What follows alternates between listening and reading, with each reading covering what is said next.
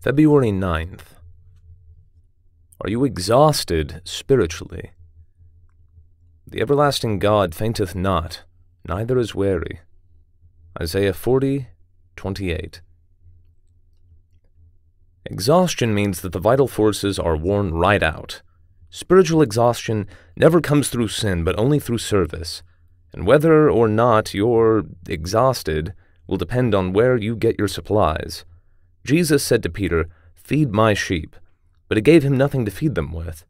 The process of being made broken bread and poured out wine means you have to be the nourishment for other souls until they learn to feed on God. They must drain you to the dregs. Be careful that you get your supply, or before long you will be utterly exhausted. Before other souls learn to draw on the life of the Lord Jesus directly, they have to learn to draw on it through you. You have to literally be sucked dry until they learn to take their nourishment from God. We owe it to God to be our best for His lambs and His sheep as well as for Himself. Has the way in which you have been serving God betrayed you into exhaustion? If so, then rally your affections. Where did you start the service from? From your own sympathy or from the basis of the redemption of Jesus Christ?